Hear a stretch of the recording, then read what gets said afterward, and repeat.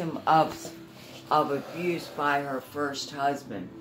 Uh huh. Her. He told me about that. What? You had mentioned to me about that. And I think that's why she was afraid of Andrew and I being together, that Andrew was probably going to hurt me. Hmm.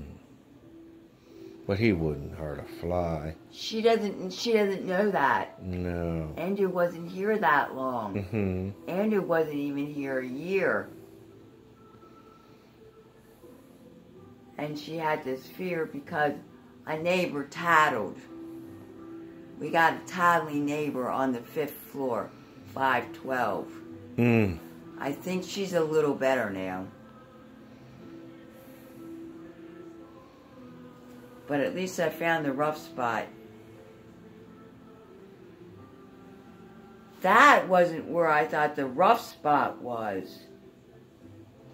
I thought the rough spot was up through here.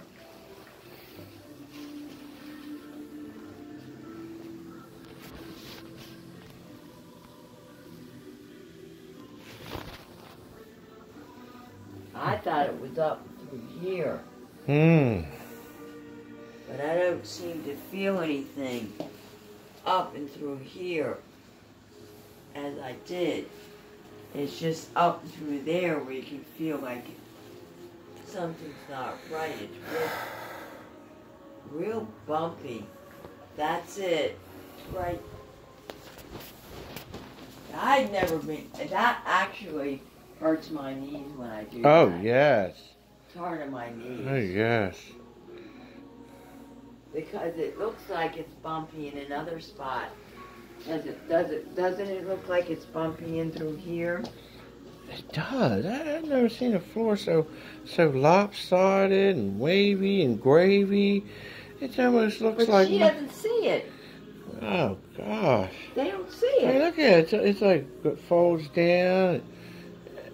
What the hell happened to it? Look, doesn't that look lower down there? Just look at it. I'm just looking at it. I can see it. But I see it. can't. I see it. I see it. Oh, Donis doesn't see it. He was looking from the kitchen. When you look from the kitchen, you can't see it. Because it doesn't look as, as lumpy as it did. You have to get up close. And she was up, you feel this, and then you go up there, and it feels like it's higher up here. Go diagonal from there and see which